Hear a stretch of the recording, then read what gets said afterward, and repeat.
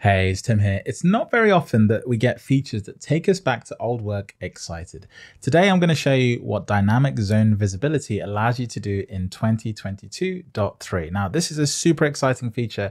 It allows you to do what I'm showing you on screen right now. This is going to be awesome. And I'm going to tell you this now, we probably haven't discovered all the things that are possible with this feature. Let's get stuck in. So to start with, I'm going to show you a very, very basic setup uh, of how this works. And what I'm going to do is I'm just going to call out to the documentation for this feature straight away.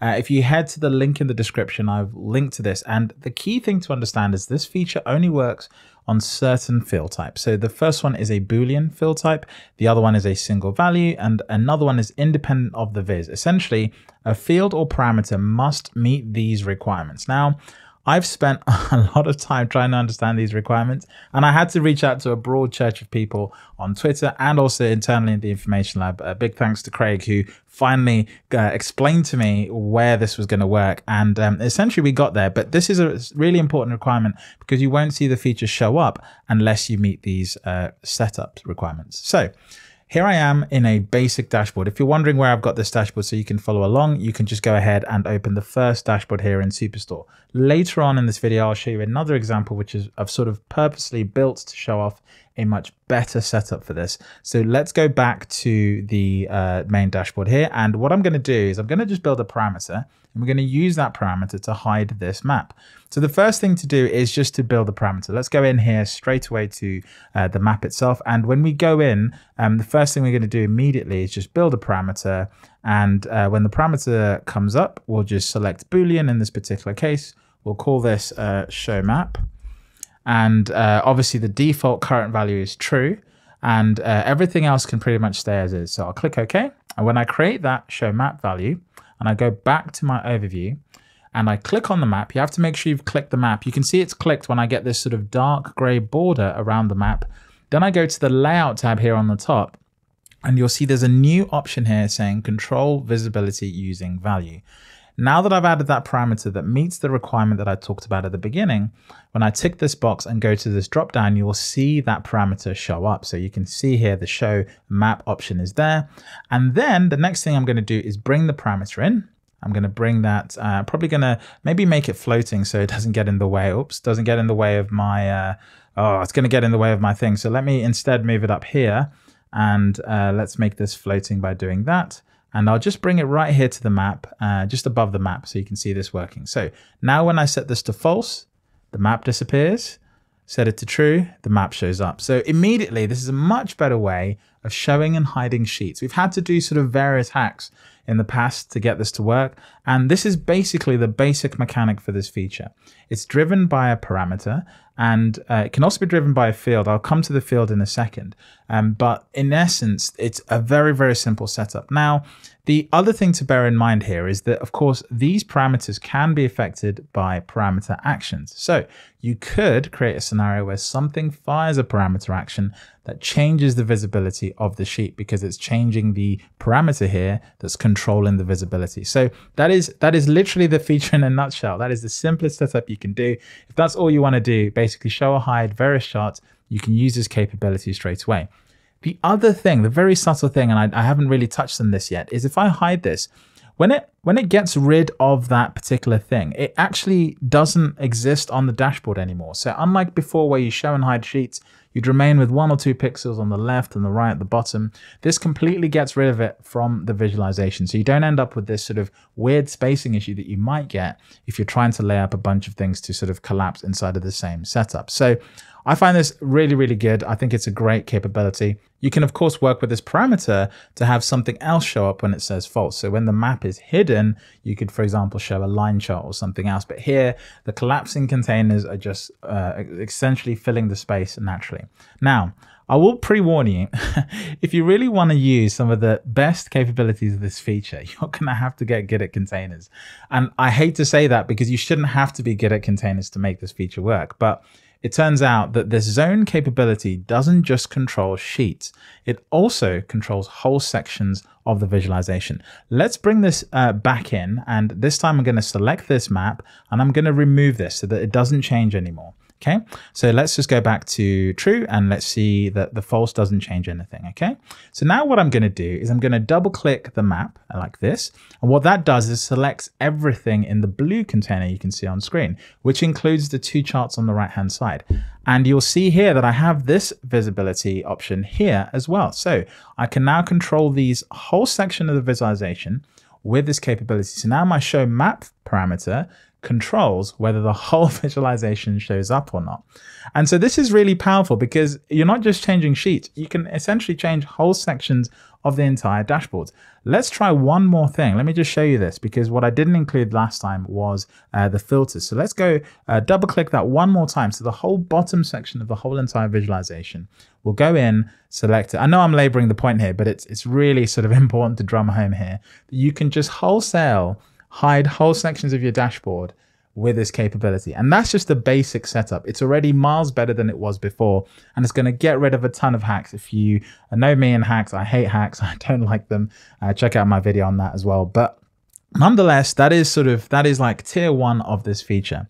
Now, when you start to get more capable with this feature, what you're going to want to do is think about how it works with containers, think about how it works with parameter actions, and then more importantly, think about how you can piece that together to make an experience. And I think I have to recommend that people now really start to think carefully about people's user journeys because when you start to do that, you might actually be able to build multiple experiences within a single dashboard depending on the user and have those work based off interactions through parameter actions or even specific URLs that enable and disable certain parts of the dashboard by just changing the parameters in the URL. That's going to be another uh, pretty nice use case. So I've shown you one way of doing this. Let's go to not something I made earlier, but something I prepared earlier, because in order to show you this whole thing, I need to walk through a couple of steps with you.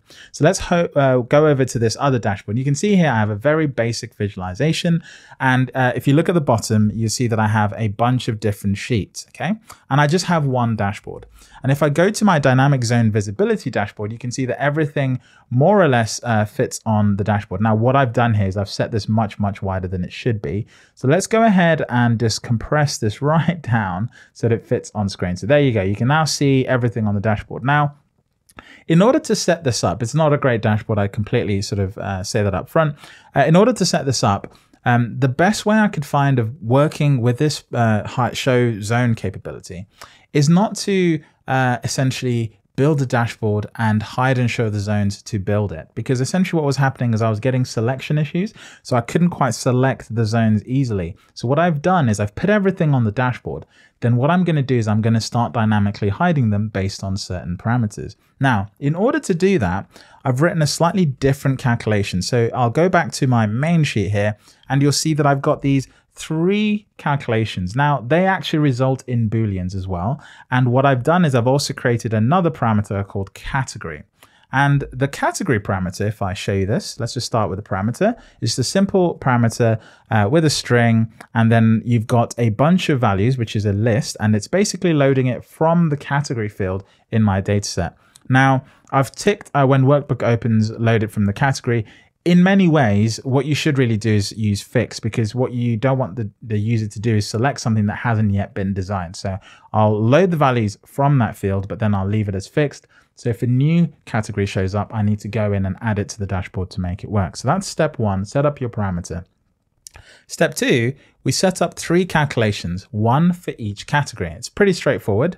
Parameter category equals furniture. And uh, you have to make sure you don't sort of get any typos in these um, sort of um, fields and make sure they're absolutely correct. Otherwise, the parameter won't fire. And you can see these are just three parameters, uh, sorry, three calculations checking the parameter. And now you've done that, you've essentially created the three uh, fields that Tableau can then use to control each of the sections of the dashboard.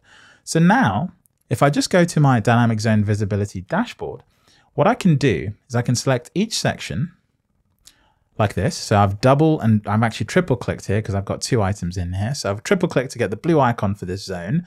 I've gone to layout, I've gone to control visibility, and this pink one is office supplies. Notice how I've tried to do a bit of color matching to make it obvious. So office supplies only, okay, that's uh, set up. So now that's good. The office supplies is currently where the parameter is set up. So uh, this is already working because you can see that this has not disappeared. But as soon as I go to the next one, let's go ahead and triple click this. I go to control visibility. This one's going to be uh, furniture. You'll see it immediately disappears. But you can see that it's still selected on my dashboard. Maybe this is a bug. Maybe this shouldn't happen. But what I found it hard to do is how do you select the thing that doesn't currently exist? It's essentially taking up the same space.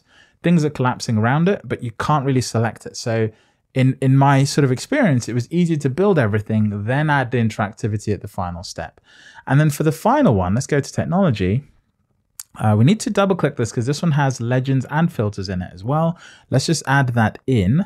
And in fact, what I what I will do is remove this because that shouldn't be there. And uh, let's go back in and do that again. Select that, go to control visibility and then select technology only. So now you can see it's still selected and everything is good. So we've got this uh, dashboard that's setting uh, basically set up to switch between different users. And so let's go ahead and uh, in essence, go back to the dashboard, make this a little more narrow. So this is actually now the design I was actually going for, a nice sort of cute small dashboard.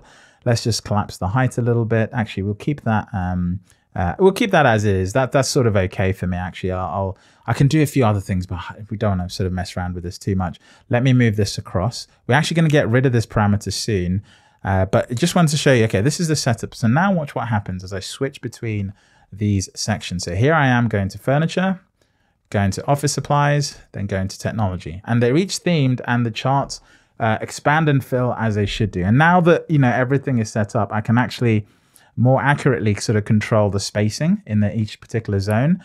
And I can go in here, and I think this has been set to fixed width. We'll actually get it to uh, not do that, and we'll do this as well, not to do. Um, I would set a, it's set to a fixed uh, height there, but if I keep going again, I should eventually find the fixed width item here. And now this is sort of fully collapsing. So your container game needs to really be on point to get this to work elegantly. And uh, what I'll do is I'll hide the title here so you can't even see that it's technology. So technology, office supplies, and uh, furniture. Okay, this is all great. Now, the final touch, which I haven't done yet, I'm going to try it first time while I'm recording this video, is to set up a parameter action driven by this top chart because of course these values match the parameter exactly. So as I click different items, it should switch between different charts. And when I uh, deselect the item, it should clear all the different things. I'm not sure that final step will work the way I expect, but let's go ahead and do this. So I'll go up to the dashboard options we'll go to, uh, where is it? Actions. And then what we want to do is set up a parameter action. Now, my main sheet is the one at the top. So I'll say, look, let's add a parameter and we're going to change the parameter here. And what we're going to do is take this from, let's go to, uh, there's a little trick here. If you've ever wondered how to multi-select everything, you take the first one, scroll down, hold shift and deselect, okay? And now that you've done that, what you can do is you can just select one of these. Let's say we're taking it from the main sheet. The target parameter is going to be this one. And essentially is going to be passing the field uh, category in this particular case, okay? And when you clear the selection, yeah, uh, you can you can change what it sets the value to. Now, in this particular case, I don't think I have um, uh, like a, a, value that shows nothing. So what you should do is have a fourth item which says none, and then that would basically cancel everything out. So what we'll do is just keep this to current value. Uh, I'm not going to sort of bother with that, and we'll just leave that as is. So we'll call this um, parameter action. Okay.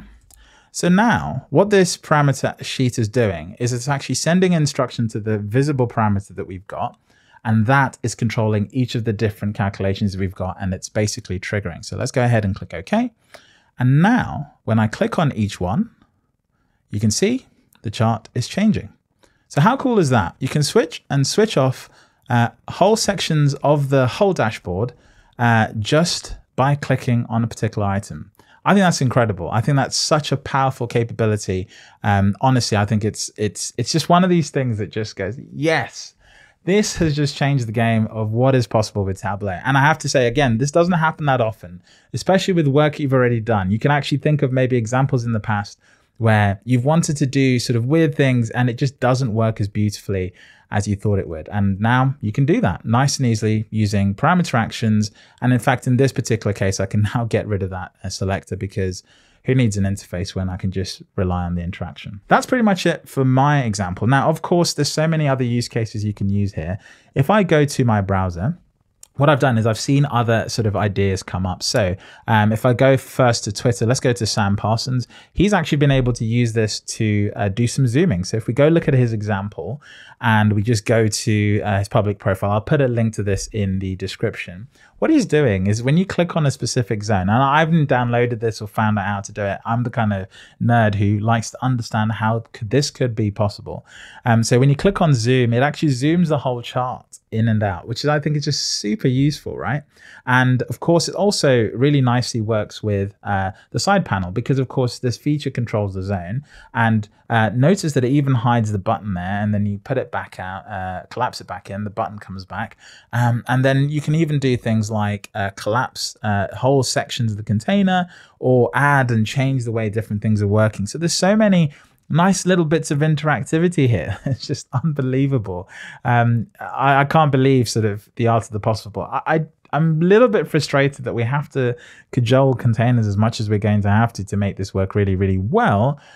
But, you know, I'll take it. I'll take it. Anything to make this experience better. So that's uh, Sam Parsons. I'll put a link to uh, the example he's got on Tableau Public um, uh, in the description. The next one is from Kevin. Um, he's basically just highlighted the point that I was talking about, you know, thinking back of old solutions and finding new ways of uh, making them work. So here he's gone back and adapted a, a dynamic sort of show and hide setup with parameters and filters and yeah, he's, he's been able to make it a lot easier and a lot simpler. And the other thing is that this should be more performant because you're not having to create these nasty calculations in the background to do all of this work.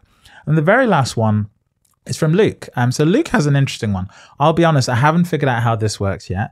Um, but in essence, you can see he's clicking on individual customers and it's loading up a chart specific to that customer each time. And so I think this is really cool because you, you, almost have these exploding visualizations. You can now almost change and break the mold of how things are working. So uh, check these out. I'll link to this in the description as well. So you can check out all three of these fantastic resources. And uh, by, by no means this is it. I, am certain there are people out there who are already uh, planning their IronViz uh, competition entries and have just realized they have to start again because this has just come out of nowhere and changed the art of the possible. So um, if that's you, I feel sorry for you, but nonetheless, that's pretty much it. Okay, we're going to stop here. That's pretty much the end of the video. Let me know what you've done with uh, this capability in the description below. Uh, once again, I am making other videos on 22.3. It's a little slower than normal because we only got our hands on it two days ago. The pre-release wasn't as uh, good, so we couldn't see some of this stuff in advance. Um, so yeah, check out the other videos in this playlist for this video. And uh, yeah, if you're not subscribed, subscribe. Uh, let me know what you think of the video in the comments, and I'll catch you in the next video. Hey, it's Tim here. It's not very often that features. Start again.